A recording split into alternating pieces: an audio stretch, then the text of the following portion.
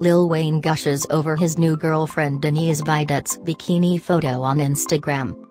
Lil Wayne seems to be so drunk in love with his new girlfriend, Denise Videt. The American rapper took to his Instagram page to share this sexy bikini photo of the Savage X Fenty plus size model cooling off in the pool and simply wrote, All.